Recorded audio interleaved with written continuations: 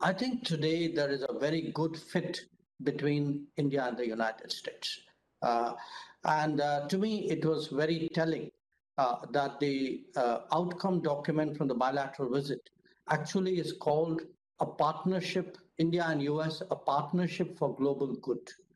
Uh, and I'm sure many of you would agree that this is not a phrase which we would have used even five years ago. So it tells you really how far the relationship has come.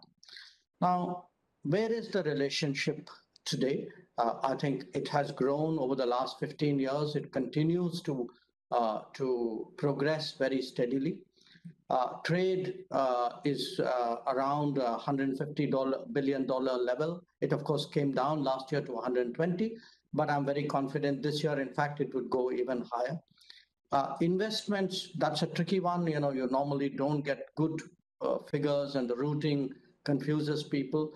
Uh, but the fact that uh, last year we got the highest ever FDI at $82 billion and a very large part of it was American, uh, I think should tell us something. Officially, of course, the uh, in the investment which we record coming out of the US is $62 billion, but my sense is it is very much more than that.